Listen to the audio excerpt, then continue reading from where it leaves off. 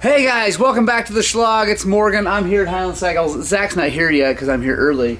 As you can see, this week's going to be a good week. We got a lot of work to do. I hope you guys join us for it. This is our weekly vlog or Shlog shop vlog uh, of my little motorcycle shop here in Montrose, Colorado called Highland Cycles. I hope you guys join us. I hope you guys like it. If you do, maybe hit the subscribe button um, and maybe turn on that little notification bell. That'd be super cool. Um, yeah, we got a lot of work to do. Let's get after it.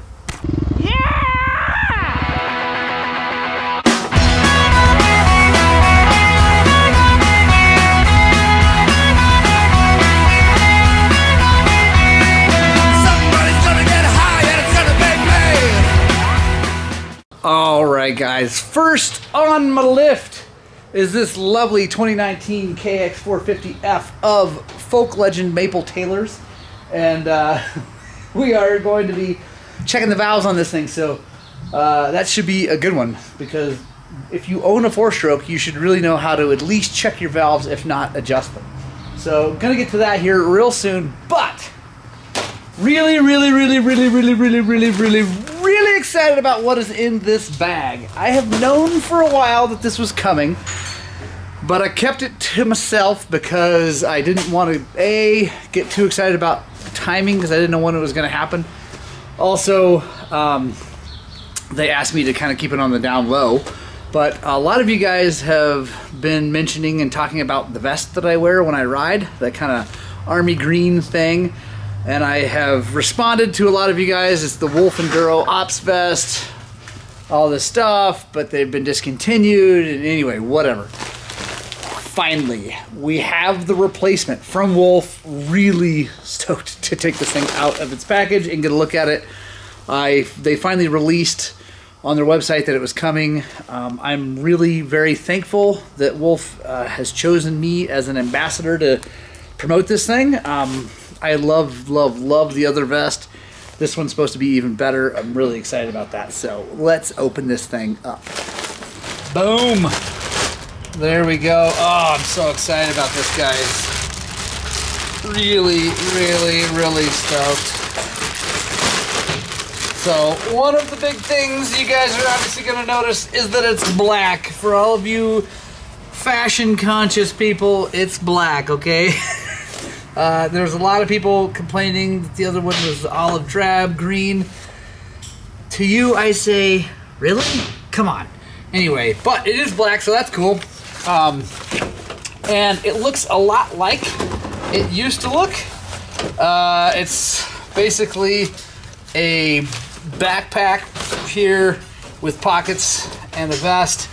Uh, it's very much, um, very, very similar. But a couple things I was reading about, I'm really excited about uh, that are different. First of all, it is made to fit much larger people.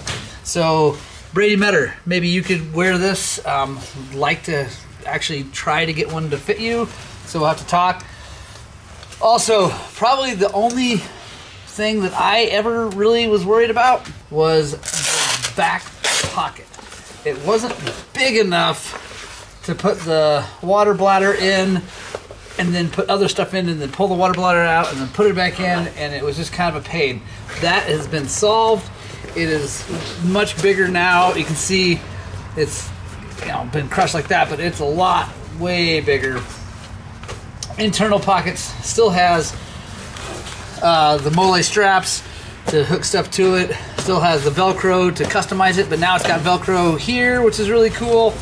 And down here, uh, these pockets are basically the same as the other one. Um, by the way, guys, I'm going to go to an in-depth review and discussion about this thing, and actually, I'm going to shoot a video of me uh, taking all the stuff out of my other one and putting into this one and showing kind of what that looks like and how that works. YKK zippers, which is cool. So yeah, I am really, really excited. Thank you, Wolf Enduro. Thank you so much. I, yeah, I'm blown away. The thing looks great. It feels just as sturdy and burly as the last one, but it's got all the stuff, the little problems that the other one had fixed. So really the bigger back compartment. Now the thing is more adjustable to bigger framed people. And then um, it's black, obviously, uh, but all the other awesome features are still there. So, guys, I'm stoked. This thing's awesome. Yeah, really, really, really excited. All right, guys. So we got the top off of the motorcycle. Um, so quick note: when you're taking the tank off these things, it, the KXs used to be a little easier. Now uh, it's a little bit more involved because the fuel pump wire goes like around the frame through these little holders. Anyway, just take your time. I, I mean, I didn't break anything, but it would be easy to break something if you just try to yank it off there. Um, like I said, the older ones were a little bit easier the way they had it routed. That's what the valve train looks like. On these KXs, this is the exhaust, this is the intake because the intake is over here, obviously exhaust is over here. So what we need to do is we need to rotate this motor to where these lobes are pointing out and away from the actual valves. So, I don't know if you guys can see in there. Let me see if I can. Yeah, there. There's a little mark right there. That is top dead center. So, also, you can look. There's a dot right there, and a dot right there. You want those to be parallel make sure we're in time, which we are. That is good. Then I like to take this since it's a breaker bar and try to like get this as much up and down as possible so it wants to kind of hold it there. Now let's make sure we're on top dead center of compression. We are. Feels pretty good. All right. So the left intake is tight, so we are going to have to adjust that. That's good. Maple had a great question. He said, "What part is wearing out that's causing this to be out of spec?" So in a cylinder, this is a valve, an intake valve to be specific, and it goes up in the head in a hole like this. And when the cam rotates, it pushes it open. Fuel and air go in this way. It closes, which allows it to compress. Piston comes up like this, compresses, goes bang then the exhaust valve over here opens, exhaust goes out. Anyway, so this right here is called the valve face and it bunts up against the valve seat. And if we take a look at, let's see if I can get this, uh, there we go. If you look right there, see how that is cupped? That cupping is what is, this thing is slowly raising up into the motor. So what it's doing as it, as it goes bang, bang, bang, bang, bang, it's wearing this face down and it's sucking up, causing the clearance to go away on top. Cool. So as that thing comes up, clearance goes away up here. Then what it does is it holds the cam effectively is sitting on this and it holds it open just a little bit, causing it to lose compression. So this is a completely worn out one. This is not what maples look like, but they all they will eventually look like this because they all do um, over time. So that's how a valve looks when it gets worn out. So, you didn't buy this new, did you? Yeah.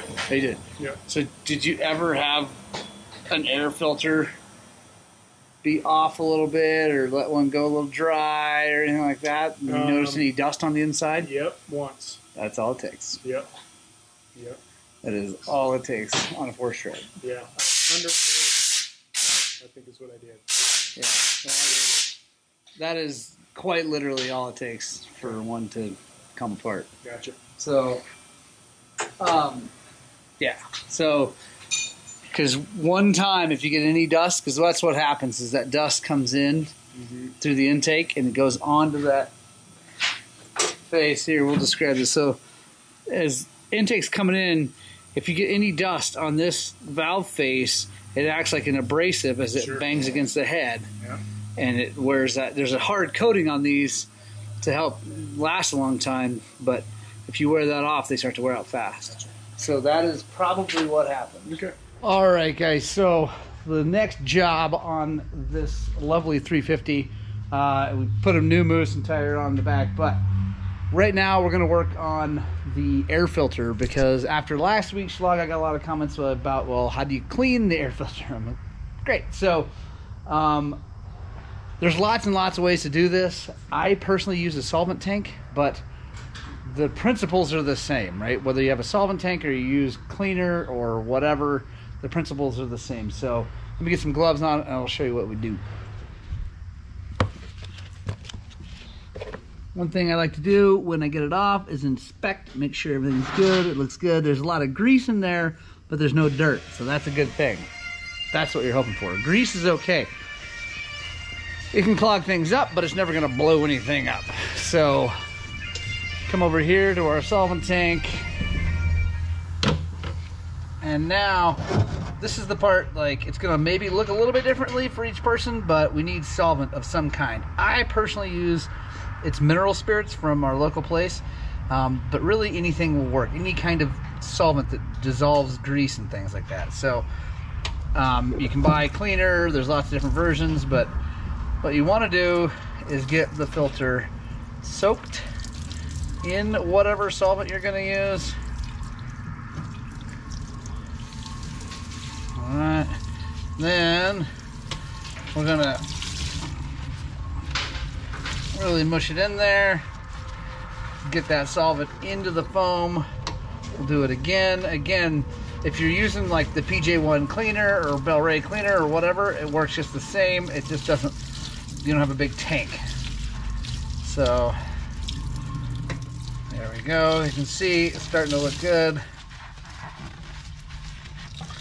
Now, here is what I think the key to making sure that this filter doesn't disintegrate and the glue doesn't start to come apart because all these seams are glued together and what you don't want is that solvent sitting in there and dissolving the glue not all solvents will but some some do but if you use gasoline or anything like that it can if you let it sit. But if you don't what you do is you come over here with some soapy water. This has Muc-Off in it but honestly fabuloso uh, dish soap whatever. Um, just some good grease petroleum dissolving soap and you can take Dawn dish soap and just drizzle it on here too. It doesn't really matter. That actually works really really well and it's cheap. There we go. Now I'm to turn our water on and make it warm. You don't want it super hot because the hot can dissolve the glue too. We're just to rinse this thing out till all of the petroleum products are off of it. All right.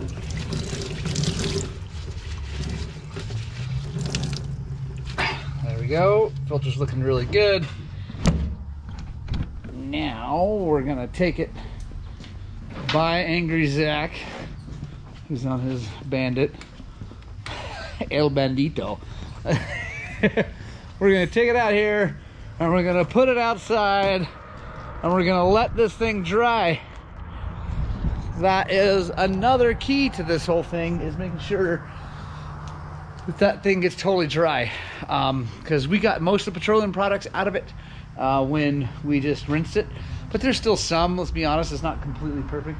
But that thing's gonna dry up all of it's going to be gone and then we're going to oil it like I did in the last one so so that's done and drying now I'm going to change front tires on this bike and then start on uh, installing plastic and changing oil and things like that hey guys so it's actually Thursday morning I'm coming into the shop and I was excited to see that box there because it means an awesome mail time is coming so I think you guys are going to want to see this oh yeah so at least some of you guys are going to want to see this some of you guys, like Mr. Brady Metter, are going to uh, not like this, but I am so stoked. So let's check and see what's in here. It's from our friends at Keeping It Fresh.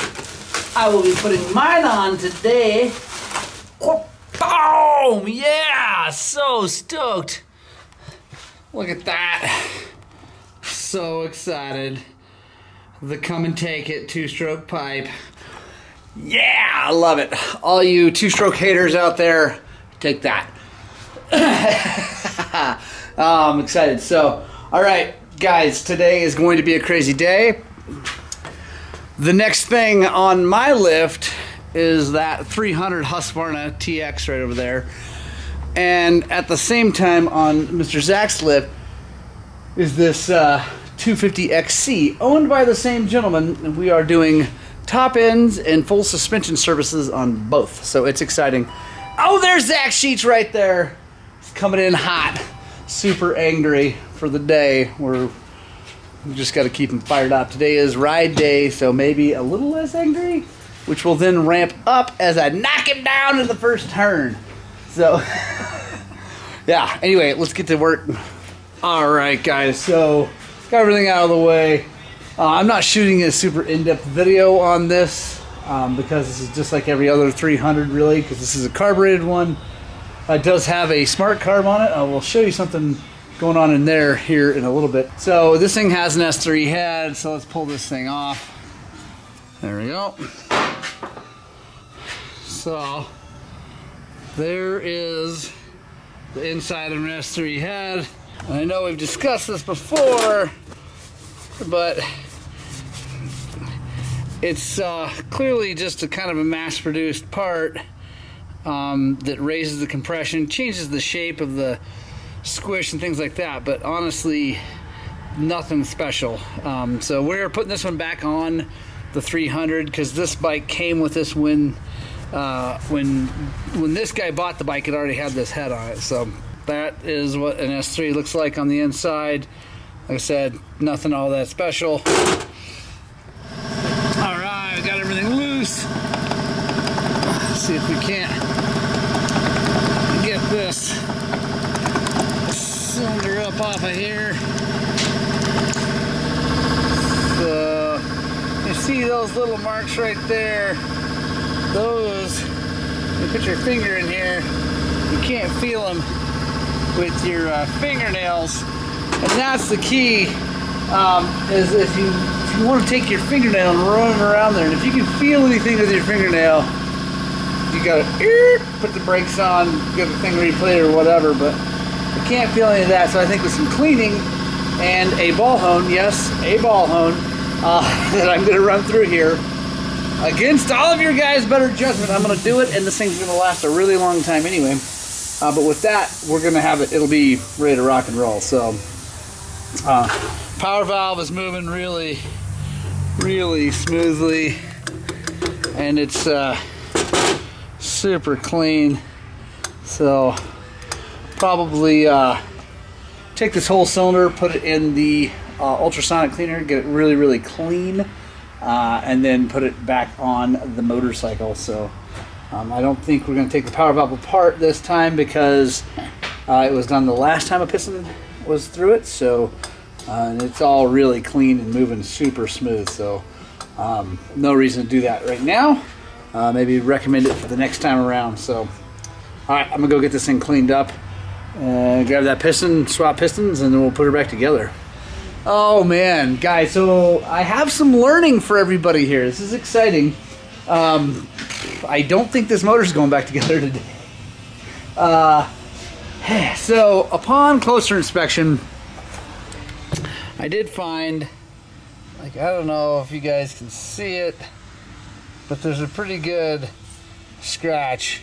Uh, I didn't notice it right away. Anyway, it's right there on the intake side. That probably wouldn't be the end of the world. This guy that owns this would probably just say, put it back together, I'm gonna run it, because it probably run just fine for a while, but I forgot to mention to you guys that when he dropped it off, he said, "Oh yeah, by the way, on the 300, can you take the slide out of the carburetor and clean it up for me?" And I said, "Why? What do you mean clean it up for? Why would I need to clean that up for you? Should be nice and clean, right?" And uh, he's like, "Oh, it's just dirty." I'm like, "Dirt." So uh, I said, "Okay, that's probably not good." But I pulled the air filter and if that's not a half-ass job of oiling an air filter, I don't know what is. Uh, that is pitiful. And this side has no oil on it. And for all of you guys on the internet that gave me crap about over oiling the air filter that I just did the video on, yeah, well, my slide doesn't look like that. My piston doesn't look like this. My cylinder doesn't look like this my stuff runs and keeps running good. So, yeah.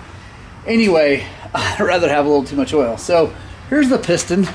Uh, you can see lots of blow by here, some weird marks up in here. It's got this funky film. I don't know what oil he's running, but it's like weird on top. I've never felt anything like that. The cylinder's messed up, the air filter's bad, and then let me show you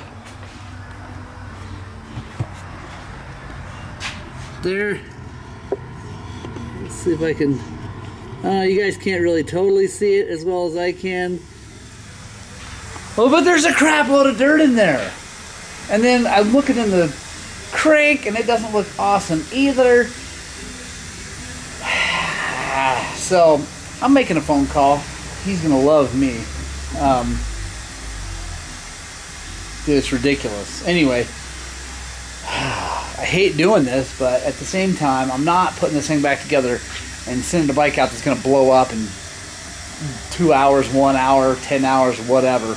Um, yeah. Anyway, whatever. Uh, I'll come back and check in when I find out what he decides he wants to do.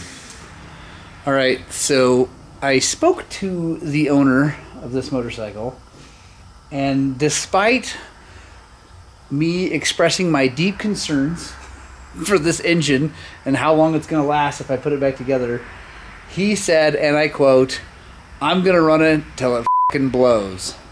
So I bleeped that out, but I think you all know exactly what he said. But um, yeah, so I'm gonna put it back together. I'm not gonna even film putting it back together because, yeah, I don't want you guys doing this. so I'm gonna put it back together, and then we're gonna service the suspension. But oh my gosh.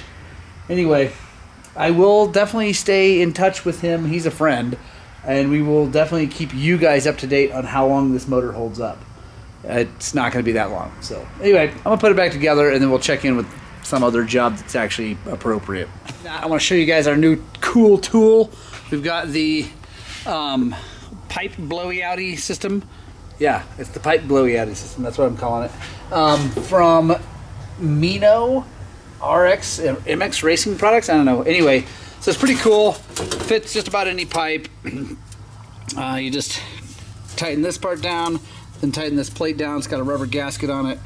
We're gonna put air in there. Uh, this over here holds this part, and uh, you're really only supposed to put about 40 pounds in this setup. Uh, so that's all we'll do. Um, but it's pretty cool. We're gonna put some air in it, and then we got a MAPP gas torch, and we're gonna do our best to try to get this out.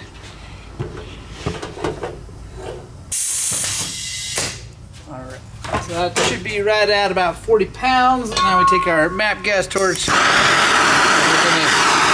Heat the heck out of this, and let's watch this. Hopefully, I can set up a time lapse, and we'll watch this thing get bigger.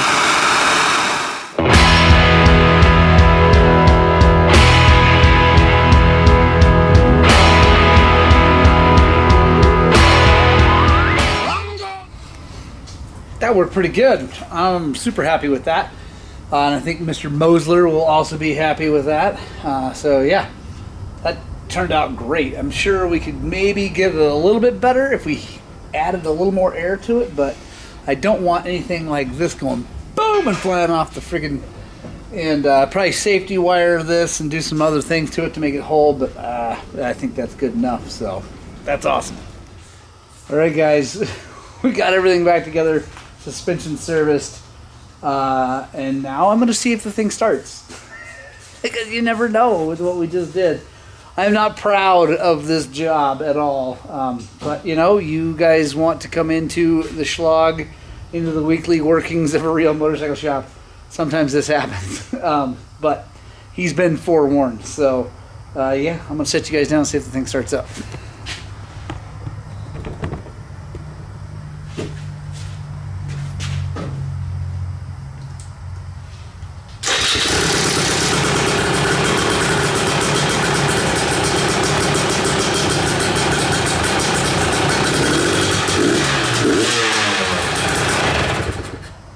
Well, there we go. Turns out that these motors are even tougher than I thought they were. Turns out you can do pretty much anything to them and they keep running. And that's just nuts. So, anyway. Oh my gosh. Ah, well, well, that's awesome. Uh, finish bolting some stuff up and get on to the next job. mail time. We're gonna finish this episode of the Shlog with mail time um, because I am so excited about what's in this box, guys. Oh man, really, really stoked. Um, let's open her up. I think between what's in here and this other thing I'm gonna show you guys, uh, we're gonna have a ton of fun and do a lot of good this year. This is coming from Klamath Falls, Oregon, from Mr. Bill Dart, and it is a chainsaw mount for the front of my motorcycle, and I am really excited about this. These things are super cool. Bill makes them there uh, in Klamath, and he is like the pretty much uncontended king of trails in Idaho, and uh, he is like the guy. So I am really, really amped about setting this thing up. All right, so now we got the 300 up here. Gonna take the headlight off and get that thing mounted up. All right, so this is the part that has to be for the KTM anyway. These are gonna bolt to where the fender bolts go. Let's just run them through. Got these little plastic spacers. All right, so we got the bolts tightened in down there. Honestly, that's kind of a pain. Uh, if you guys order one of these um, mounts, just know that getting those bolts in there is kind of a bear. Uh, it really helps to have a kind of a wobble head uh, socket to get down in there, so that worked out good. Now we're putting the bolts in up here that go into the triple clamps. Uh, let me go get the saw. I'm super excited about the saw. Let me show you my new my new toy. Oh yeah, guys, here it is. The Stihl MS194T. This thing is awesome. Top handle, uh, 16 inch bar, gas powered, freaking awesome little chainsaw. So, I believe the way this goes is like that, just like that. That's perfect. And then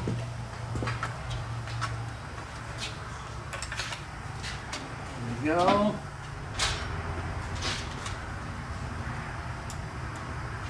There we go. That is rad. Really super stoked about having that thing on there. We're gonna have a good year. Honestly, I have for too many years not been doing my fair share of trail clearing partially because I just like to ride, uh, and then also because I haven't had a chainsaw or a mount. Now I have both, so I got no excuses, and it is time to go cut some trails. This thing is going to be awesome. Obviously, saw comes off real fast. Uh, just those two straps comes out of the way, ready to rock and roll.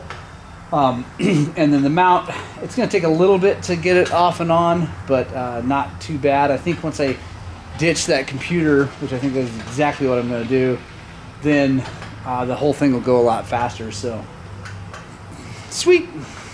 All right, guys, it's the end of the week. It's the end of the slog. I have got to go racing. I'm actually taking a day off, heading to Utah to the National Hare and Hound, racing the 125. So make sure you check out that video. Uh, it's going to be a lot of fun. A big old fat man racing a tiny little motorcycle. Um, and yeah, it should be a ton of fun. Anyway, I hope you guys like that. I hope you get out, spread the gospel two wheels, and I desperately hope that what we're doing here is inspiring you guys to work on and get out and ride your dirt bikes!